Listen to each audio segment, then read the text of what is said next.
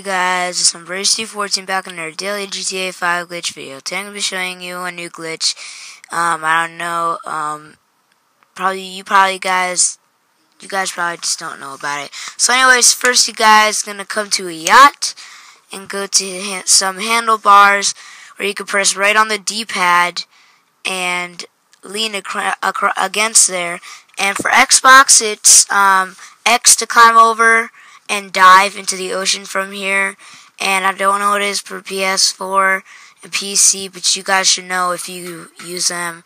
So yeah, just hit the right on the D-pad and the climb button at the same time, and it should work. So yeah, peace.